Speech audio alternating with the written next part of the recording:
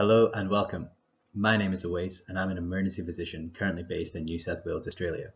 I'd like to begin by thanking the ICS committee for allowing me to present on this stage. Our systematic review and meta-analysis investigated various short-term urethral catheter removal strategies. Today I have the pleasure of presenting our abstract for our review, which was published in the Cochrane Library in June of this year. I have no affiliations to disclose. Urinary catheterization is a common procedure with around 15 to 25% of patients in hospital receiving a catheter at some point during their care. However, the use of urinary catheters isn't without its risks. Catheter-associated urinary tract infections, or CAUTI, is the most common complication and is also one of the most common hospital-acquired infections. Around 20% of hospital-acquired bacteremias arise from the urinary tract and have a mortality of up to 10%. The main objective of our review was to assess the effectiveness of removal strategies for short-term indwelling urethral catheters in adults. We defined short-term as 14 days or less after reviewing the current literature, as well as the guidance from various international groups such as the American and European Urological Associations. Our focus was primarily on urethral catheters. Our aim was to determine what removal strategies existed and to also determine the safe methods for short-term IUC removal. All Cochrane systematic reviews start with a comprehensive literature search to identify all relevant trials that meet the inclusion criteria. We use the Cochrane Incontinence Specialized Register of Databases to carry out our search on the 17th of March. The abstract and full text screening was then performed by two authors before finally agreeing on a list of trials which met our inclusion criteria. Data extraction and risk of bias for each trial was then performed independently, with the data then entered into RevMan software to allow for the meta-analysis.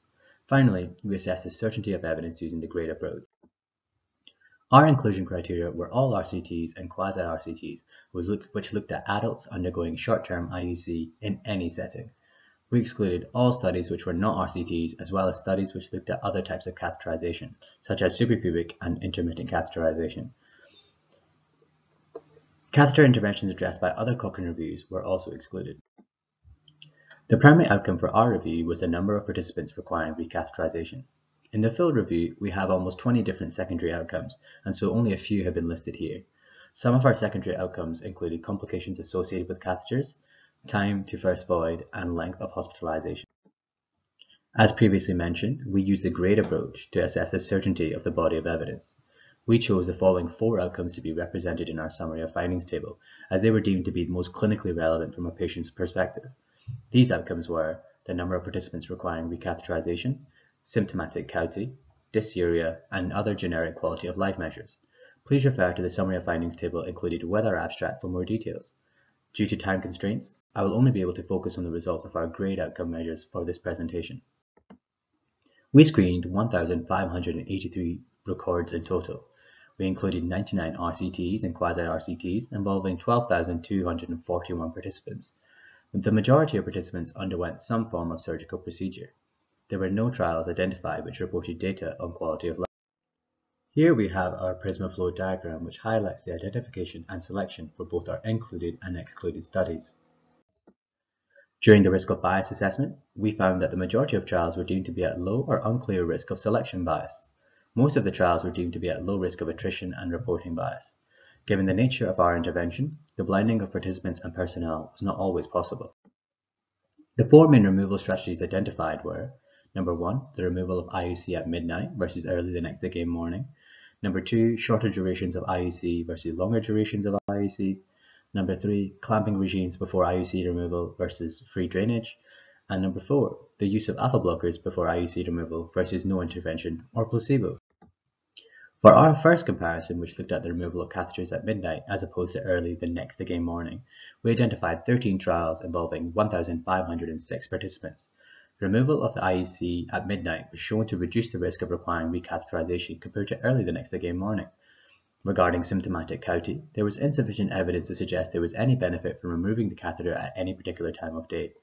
Likewise, we are uncertain if the removal of catheters at midnight has any effect on dysuria with one trial only reporting this outcome.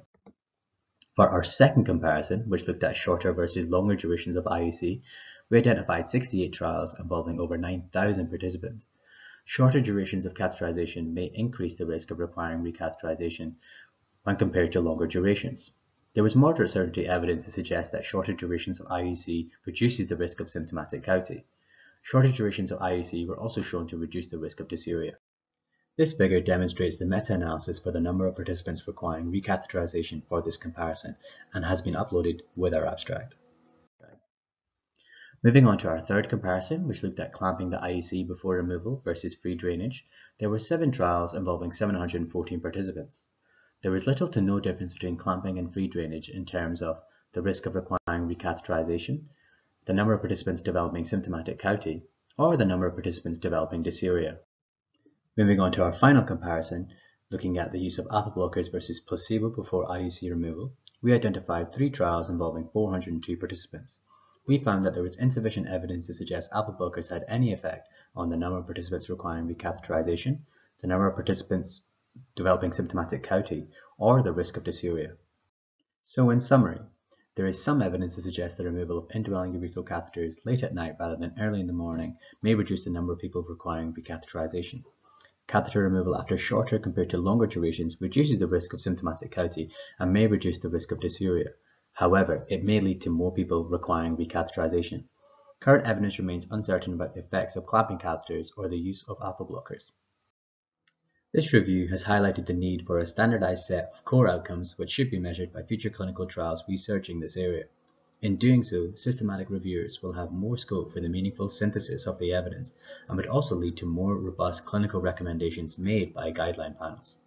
More research in non-surgical patients is also needed.